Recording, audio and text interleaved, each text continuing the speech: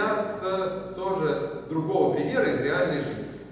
Пример из реальной жизни будет связан внезапно не со словами, а с общественным транспортом.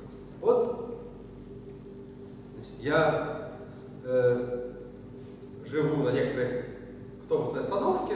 Я сейчас вам предъявлю расписание этих автобусов на вечерний час. Значит, один вечерний час значит, с 22, 52 до 23, 52. Как я специально. Три автобуса проходят э, у нас э, таким образом. В 22 часа 54 минуты проходит автобус номер 647. В 23 часа 13 минут проходит автобус номер 281. В 23.23 проходит еще один автобус номер 647. Потом 16 минут никаких автобусов нет. В 23.39 проходит автобус номер 281. Потом в 23.41 проходит автобус номер 264. И, наконец, в 23.52 проходит автобус номер 647. Вот такая вот. Все эти автобусы меня везут до метро, с этим все прекрасно, мне любой подходит, но ходят они вот так. Давайте считать, что я начинаю свое рассмотрение, я изучаю интервал с 22, 52 до 23, 52. Теперь первый, самый простой вопрос. Сколько автобусов прошло за этот час? Семь. Семь, правильно.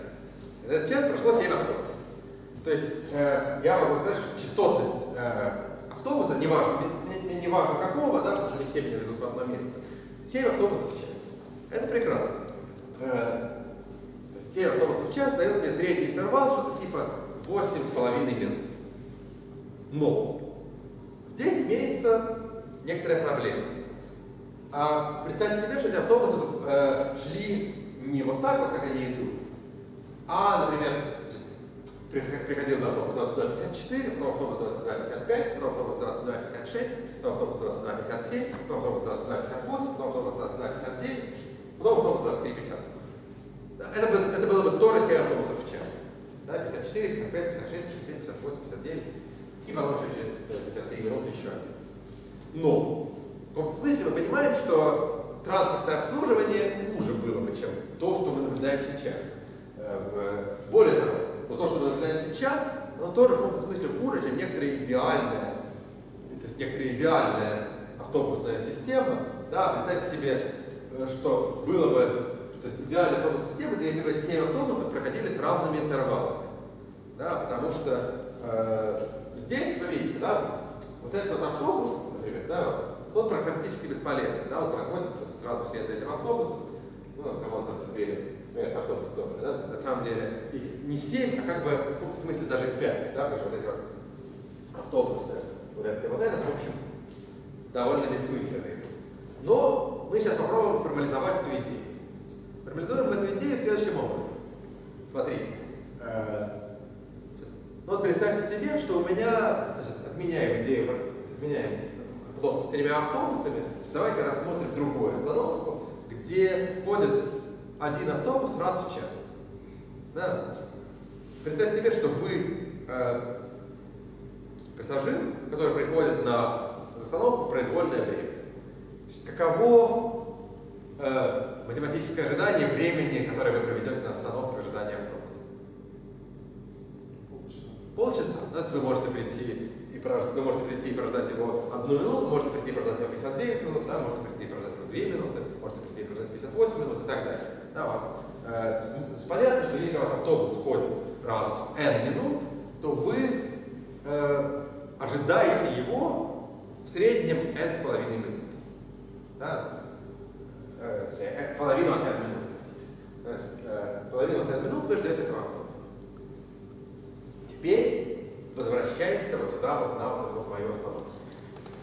На моей остановке, давайте я ее, давайте еще раз рисую вот этот час, как он проходит. Смотрите. Э, вот сперва 2 минуты, и потом приходит первый автобус. Потом проходит еще 19 э, минут, да, приходит второй автобус. Потом проходит еще 3 минуты, приходит третий автобус это 7 минут. Приходит четвертый автобус. Потом проходит еще 16 минут.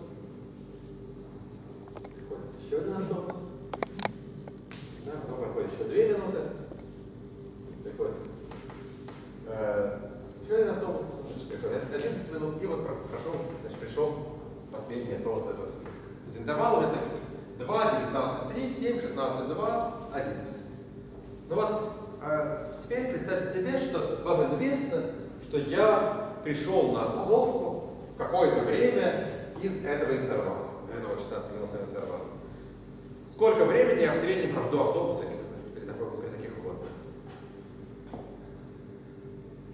Ну, мы эту задачу, которую мы только что решили. Если, если я прихожу, вот где-то вот в, этот, в какой-то произвольный, произвольный момент, вот это вот интервал, сколько времени в среднем мне придется ждать автобус? 8. 8 минут. Значит, я в среднем буду ждать его 8 минут, я в среднем буду ждать этот автобус 8 минут. Да? А теперь другой вопрос. Теперь представьте себе, что я прихожу в произвольное время с всего вот этого интервала. Да? Какова вероятность того, что я попаду вот в этот интервал, где я буду ждать в среднем 8 минут? 16,60. 16,60. Да? Вероятность попасть в этот интервал 16,60. Да, вот если я, вообще говоря, могу теперь посчитать, каково мое ожидаемое время стояния на остановке в, за весь этот час. Посчитать я это могу следующим образом. Смотрите, значит, вот у меня имеется вот этот вот интервальчик двухминутный. Значит, какова вероятность того, что я приду в этот двухминутный интервал? 2,60. Это, э, я понимаю, что это тривиальный вопрос, да, но только не стесняйтесь. Значит, вероятность того, что я приду в этом двухминутном интервале, да, она составляет у меня 2,60. Да, и прожду я там половину от двух минут. Да, 2,60, и я там 2 минуты пополам. Следующий интервал у меня 19 минут. Какова вероятность того, что я приду в этот интервал? 19,60. Да, а прожду я там сколько? 19 пополам. 19, 19 ставок, да? Я ожидаю, что прожду я там 9,5 минут, но если мне повезет, то 0, если не повезет, то 19, ну а так, сейчас промежуток. И ну, дальше у меня будет трехминутный интервал, дальше я приду в трехминутном интервале с вероятностью 3,6 и прожду там с вероятностью, прожду, значит, ожидаемое э, время стояния остановки у меня 3 э, минуты пополам временно. Да, больше, меньше, зависит от моей степени удачливости. И так далее. И вообще говоря, я теперь, ну, видно, как я могу посчитать, сколько времени я должен, времени я ожидаю на остановке, если приду в произвольный момент в течение часа.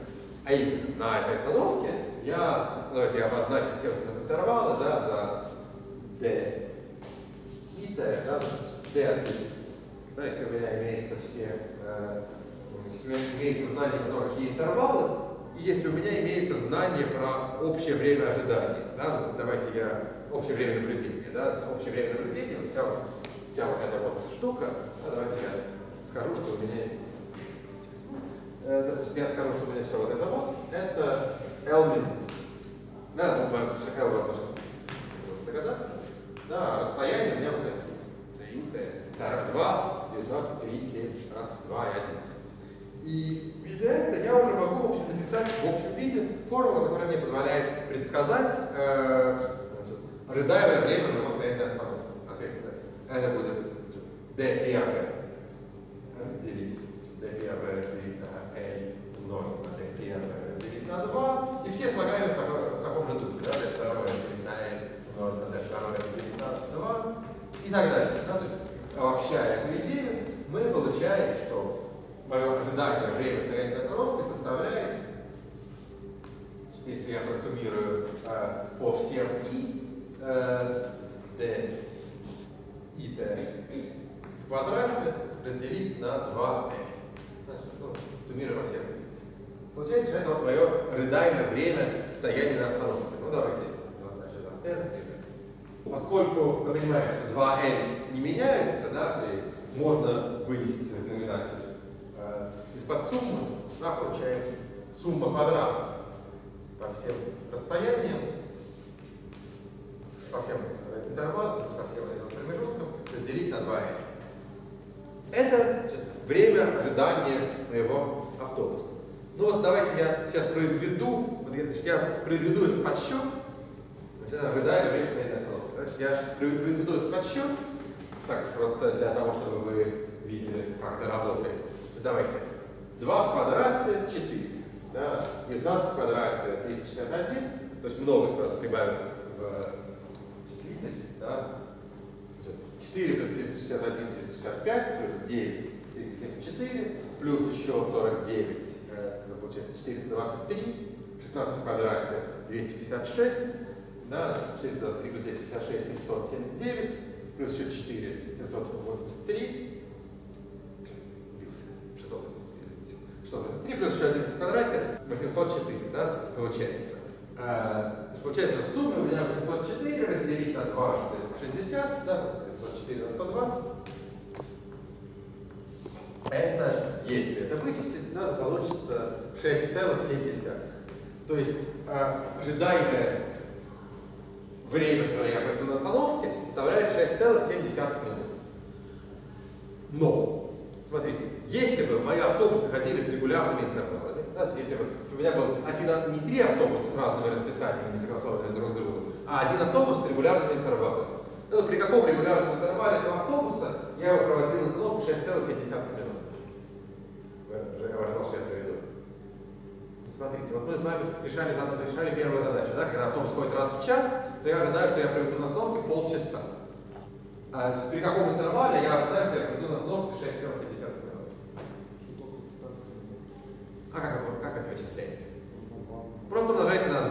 Да? То есть получается, что мне надо просто, как сказать, интервал идеального автобуса вместо вот этих вот не идеальных, это, собственно говоря, просто 2t. Да? То есть идеальный интервал, э, давайте я его обозначу, например, за t заглавное, да, это 2t, или если вот это вот посмотреть, да, то ну, подставить вот это вот сюда, получается, что это сумма всех этих интервалов, э, возведенных квадрат, разделить на Значит, это идеальный интервал моего автобуса. А дальше я могу, например, вычислить э, частоту моего автобуса. Да? Э, э, сколько, сколько автобусов в час у меня проходит, да? сколько автобусов за время N у меня пройдет. Да? Ну, если я идеальный автобус, да? если я знаю, что мой идеальный интервал это э, вот, то, что рассчитано здесь, да? идеальный интервал 12,4 минуты. Сколько идеальных автобусов пройдет за час?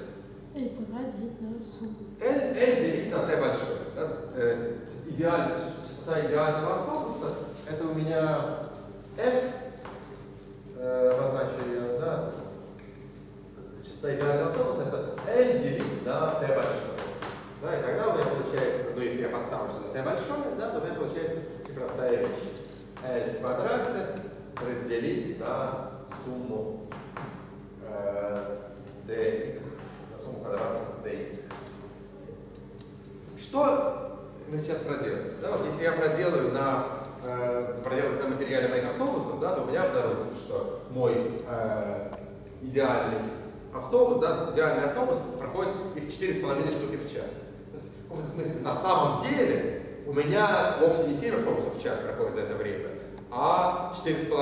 Да, ну, потому что вот эти вот, ну, в частности, потому что вот эти вот две пары особенно, особенно зловредные, да, которые идут совсем рядом. Какое это имеет отношение к пропускной лингвистике? А очень простое, потому что вот эти вот э, наши отметки на корпусе слова метанно и слово показалось, да, они ничем принципиально не отличаются от вот этих вот отметок автобусов. Ровно таким же образом можно вычислять частоту слова в корпусе, э, как мы вычисляли частоту, как, как, как мы вычисляем частоту, так сказать, идеального автобуса. То есть нам надо взять э, просто длину корпуса, да, ну, я э, можно, могу ее также обозначить за, если я обозначил за n, короче, да, ну, ну ладно, давай, да, давай, пусть, будет l для, унификации. Сюда. Если мы возьмем точно так же длину корпуса, и для каждого слова посмотрим на расстояние между его вхождениями, то мы можем построить такой список интервалов, исходя из этого списка интервалов, мы можем посчитать его усовершенствованную частоту. То есть мы можем посчитать его, так сказать, эффективную частоту, опираясь на время ожидания этого слова в корпусе. Мы можем думать не о том, сколько раз это слово просто встретилось, сколько раз нам нужно ждать, сколько времени нам нужно ждать, сколько нужно пройти по корпусу, чтобы встретить следующее вхождение того же самого слова. И это оказывается чрезвычайно эффективно с этой точки зрения, с точки зрения борьбы вот с такими вот э, скученными словами, которые собрались в одном месте. Э, вот смотрите, вот у меня вот здесь вот, да, был вот это вот мои, мои реальные автобусы. Да. Давайте я проведу, значит, приведу еще один пример, ну, тот, который я приводил условно, да, если у меня здесь пройдет 6 штук с 54 минуты по 59 минуту, а потом еще один 52 минуту. Да, так, как, тогда будет выглядеть. Тогда это будет выглядеть следующим образом. Значит, вот здесь вот у меня будет двухминутный интервальчик, да, потом у меня будет 6 одноминутных, сейчас значит, у меня будет 5 одноминутных,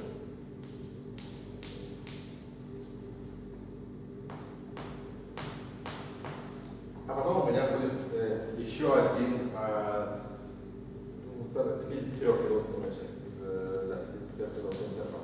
Да, значит, э, у меня будет 2, 1, 1, 1, 1, 1 и 53 вот здесь. Если я подставлю вот эту формулу. Я да, не понял, не- простите, я не понял. С- Автобусов всего сколько? Автобусов всего 7. Тогда будет 6 минутных интервалов и один 54-минутный. Вот здесь автобус, вот здесь автобус, вот здесь автобус, здесь, здесь, здесь и здесь. А здесь просто начало наблюдения. Ну, 6 минутных и один 54-минутный. Всего 7 интервалов. Всего должно быть... А, ну и один двухминутный, потому что первый автобус я прошел почему-то после... этого. Прошел меня через две минуты. А, понятно. Хорошо, хорошо, да. условно. Не важно. Да, результат от этого не радикально изменится, да, если я... Э, но эту, эту сейчас в применении корпуса есть Вопрос здесь очень. Да, что у нас это... Э, как нам фиксировать начало наблюдения и вообще понять, э, вот, э, пон- понять вопросы границ. Да, ну, тогда давайте попробуем рассчитать. Значит, у нас будет э, для этой ситуации, да, для, для первой моей реальной ситуации, да, это было, t маленькое было 67, да, t большое было 6 6,7, да, t большое было 12,4, да, L, а, а F, частота эффективная, она примерно равна 4,5 автобусов в час. Для второй нашей ситуации да, мы получаем, что F будет равно э, 60 в квадрате, собственно говоря, тоже, разделить на 4 плюс 5 единичек, да, плюс 53 в квадрате. Ну, 53 в квадрате э, довольно много. Да, сейчас сколько это? Да, это я не помню на памяти. 50 плюс 3 в квадрате. Это 50 плюс 3 в квадрате, да, значит, тогда это 2809. 1000 плюс 300 плюс 2809, да? Значит, Плюс 2809, да? Ага, И тогда у нас э, получается, да, что это вот 3600 разделить на 2818. Да. Ну и примерно это получается что-то типа э, 1,3 автобуса. Да, в такой вот ситуации, да, у нас, э, если автобус ходит вот так вот, да, то значит, это фактически почти что один автобус в час. Хотя тоже формально 7. А, и с э, словами ровно та же история. Да, если все вот эти вот слова метана собрались в одном месте вот здесь вот, да, то их считая одно, хотя их может быть здесь 29, может быть их 100, из миллион шестьсот тысячного корпуса, но тем не менее, да, не, не надо считать, что их 29, потому что это просто дает неправильный результат э, за счет перекоса счет одного текста. И вот э, здесь вот надо внести еще одно маленькое уточнение. Да, вот мы сейчас немножко э, засомневались с интервалами между автобусами, да, потому что начало отсчета что-то непонятное, да, вот как, последний автобус у меня попадает, значит, образом конец отсчета, ну, потому что я так его специально выбрал. А начало не очень ясно. В принципе, э, нам хорошо было бы с этим разобраться. И в корпусной лингвистике обычно делается следующая вещь. А именно, обычно предполагается, что э, корпус мы для, таких, для двух таких подсчетов мы понимаем как некоторую закольцованную сущность. Да? Смотрите, то есть мы понимаем, условно говоря, представляем корпус не в таком виде, да, и виде вот, прямой, э, прямой, а в виде вот, вот такого вот кольца, да, э, нулевое слово вот здесь, вот, да, миллион шестьсот слово вот здесь, вот перед ним прямо. И тогда у нас на вот этом вот кольце мы можем считать расстояние очень простым способом. Да? Вот если все эти метаны, метана собралось вот здесь вот, да, то тогда у нас вот здесь вот какое-то маленькое расстояние, да, здесь еще маленькое, здесь еще маленькое, еще маленькое, еще маленькое, еще маленькое. И вот это вот огромное расстояние, да, которое нам, собственно говоря, дает большое, большое значение в знаменателе. И поэтому мы получаем дальше э, не очень высокую частоту слова метан. Ну, вот я вычислил э, для, для слова метана эффективное э, количество вхождений, да, сколько автобусов проходит равномерно распределенных. Э, результат, результат у меня получился для слова метана очень неутешительный. Э, 29 вхождений, которые у меня были, они теперь с совершенственной мерой частотности превратились в 1,3 тысячи. Да, я фактически прямо это взял в 29 раз срезал частоту слова метана, это одно вхождение, да, это один маленький текст, который э, таким образом получается. Итак, вот я могу, собственно говоря, совершенствовать мой частотный словарь, опираясь на э, любые, э, то есть, э, для любых слов, да, повторить то же самое, слово метана у меня очень сильно сократилось. Слово показалось, у меня, сейчас найду, что с ним произошло, слово показалось, оно тоже немножко сократилось. Ну, понятно, что оно не идеально равномерно распределено, да, идеально равномерные слова бывают, встречаются редко. Да, я в какой-то момент, опять-таки, э, экспериментировал с текстами Джоан Роулинг, да, взял там, Гарри Поттер и философский камень, там обнаружилось одно слово, распределенное почти идеально. Как вы думаете, какое?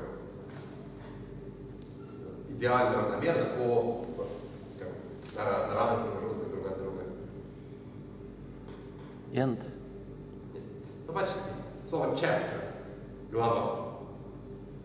У нас над каждой главой написано chapter 11, chapter 12 и так далее. Только там они встречаются, главы примерно одинакового размера, поэтому слово chapter распределено вот. Слово показалось, конечно, в корпусе тоже не распределено идеально равномерно, да? можно сказать, что здесь, здесь, здесь долго ничего нет, здесь там, например, больше.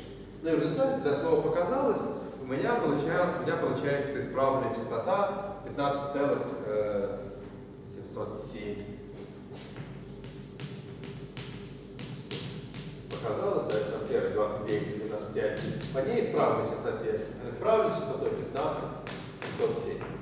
То есть слово показалось, ну, все частоты таким образом занижаются, да, потому что э, они же э, не занижаются только слово идеально ровно, идеально равномерно распределенно, но занижаются по-разному, в разной степени. Да, и слово показалось в итоге в этом улучшенном частотном списке вышло на 3672 место, а слово метана у меня опустилось на 3672 место показалось, занимает теперь. А слово метана у меня теперь занимает 72 323 место. Что, вообще говоря, как кажется, хорошо отражает реальность, хорошо отражает э, то, как устроен русский язык вообще. Да, как устроен русский язык вообще, и каким образом мы можем на э, опираясь на выборку текстов, построить частотный словарь для генеральной совокупности, для большего э, объема, э, для, для какого-то непонятного большего объема текста, да, для русского языка вообще. То есть вот словарь, в котором, если вы иностранцы ставите словарь, который показалось, будет высоко, а металлом низко, то это все-таки лучше. Ну и это, конечно, не единственный возможный, единственный возможный способ э, оценивать усовершен... применять усовершенствованные меры частотности. Вот самая простая усовершенствованная мера частотности, которую ввели еще представители первых реальных частотных словарей, это мера, которая называется range или ну, диапазоны, да, обозначается обычно буквой R. Э, э, Что устроено то это усовершенствованная мера? Это усовершенствованная мера очень просто устроена. Давайте мы возьмем корпус и разделим его на некоторое заранее заданное количество частей. Ну, например, на- на 100. На 100 чаще всего делим. И Дальше мы просто посечем его на части, на равные части по 100 кусков. Да, и тогда мы дальше, вот если у меня был корпус объемом миллион шестьсот форм, да, то равные части, э, э, сейчас, на, на 100 равных кусков мы его насечем, да, значит, э, миллион шестьсот форм у меня был, я делю на 100, получаю куски по 16 тысяч форм. Каждый, каждый кусок содержит. И дальше я смотрю про, про любое из этих слов, скольких частях из этих 100 оно встретилось. И получившееся число, собственно говоря, объявляю мерой частотности. Да, смотрите, если я возьму этот корпус сметаны да, и поделю его на 100 частей. Да, у меня, я напоминаю, что слово метана встретилось в одном тексте длиной 2500 слов. Я возьму все это, поделю на 100 частей, э, на 100 частей, каждая часть будет иметь длину примерно 16 тысяч слов. В скольких частях у меня появится слово метана? Ну, либо в одной, либо в двух. Да, в зависимости от того, где пойдет э, граница. Да, если граница разрежет этот текст на, на, на, на, э, на части, то может оказаться, что в двух. Если не разрежет, то скорее в одной. И вот эта вот мера, которая перепишет слово метана один, от слова показалось, она перепишет что-то большее. Да? Ну, самое большее, что она может ему приписать, это 29, если она встретилась равномерно более, ну, более-менее равномерно распределено и попало 29 кусков. В реальности будет, скорее всего, меньше, там, типа 22 или в таком духе. Но не один, не два. Да? Опять-таки, вот это вот еще одна усовершенствованная мера частотности, которая работает очень простым способом. Да? Просто разбиваешь корпус на части, считаешь и получаешь новый частотный словарь с усовершенствованными частотами. И вот все э, получается как надо. Но правда, с этой мерой есть другая проблема. Проблема с мерой, которая range, да, она очень простая и концептуальна, да, я сейчас тут полчаса сейчас рассказывал какие-то автобусы, да, чтобы э, объяснить, как мы считаем меру на основе расстояния. Да, про то, что раздели корпус на 100 кусков, посчитай, с каких местах встретилось, да, там долго рассказывать не надо. Проблема в другом. Проблема в том, что она дает нам 100 возможных значений. Да, мы получаем только 100 э, возможных значений, и там, сло- слово «и» и какое-нибудь более редкое слово могут оказаться в 100 частях, и вот по что-то словарю Лещевского-Чарова это хорошо видно. Потому что вот там, вот если посмотреть верхнюю часть словаря, то окажется, что слов, которые имеют r равное 100, там примерно 3000. Да, 3200 с чем-то. То есть там э, объем корпуса, на котором они это делали, 90 миллионов словоформ, соответственно, один кусок из 100, э, один из 100 кусков, это 900 тысяч словоформ. И вот имеется примерно 3000 слов, которые встретились в каждом 900 тысячном куске, да, без разделения. Да, хотя, понимаем, что слово «и» и какое-нибудь там слово э, «дело», да, они на самом деле имеют частоты, которые раз- э, различаются в разы. Да, поэтому в этом смысле меры вот эти вот на основе расстояния между словами, наверное, лучше, хотя тут тоже есть свои тонкости. Например, одна очень простая и важная тонкость связана с тем, что вот не со случаями, где слово э, металл встретилось в одном тексте. Да? Представьте себе какой-нибудь случай, когда у вас слово встретилось в двух текстах. Да? Например, ну, ну, было бы э, из одного учебника по химии, из другого учебника по химии. Здесь дальше начинается произвол, к сожалению. Да, потому что эти два текста могут оказаться в разных местах корпуса, могут оказаться в одном. Да, то есть если у вас вот есть слово метана здесь, да, если у вас есть слово метана вот здесь, то усовершенствованная мера частотности вам даст что-то типа 2. Да, а вот если у вас этот второй текст оказался не вот тут вот, а, например, вот тут вот, да, тогда ваша усовершенствованная мера частотности все равно вам даст хоть там одну целую одну десятую, потому что они рядом э, оказались, хотя непонятно, э, непонятно чем это обусловлено. Вот эта вот мера оказывается чувствительна к тому, как мы располагаем элементы в корпусе. Ну а тут не всегда есть единственное правильное решение, точнее, скорее, скорее сказать, что его почти никогда нет. да, Почти никогда невозможно точно определить, как надо располагать слова в корпусе. Ну, это вот вопрос о том, что частотность считать вообще не так просто, как может показаться на первый взгляд. То есть, может показаться на первый взгляд, что мы ну, взяли, посчитали, да, сколько в тексте в части 40 и, да, если э, столько, сколько, сколько насчитали в картине, столько и записали. Вот оказывается, что нет. Ну даже если говорить про самые простые трюки, типа того, что хорошо посчитать относительную частотность, например, вхождения на миллион, для того, чтобы иметь возможность сравнивать между собой разные корпуса, даже если мы не хотим сравнивать между собой разные корпуса, не хотим считать относительную частотность, нам все равно приходится думать о том, что корпуса могут быть неоднородными, и тексты могут завышать частоты каких-то отдельных слов, и вот с этим надо каким-то образом бороться. И вот это такой вот проблемный, проблемная история с частотными словарями, но, к сожалению, борются они немножко меньше, чем, может быть, мне бы хотелось. Почему это так происходит? А по одной простой причине, потому что вот эта вот частота все-таки пользователю более или менее понятна.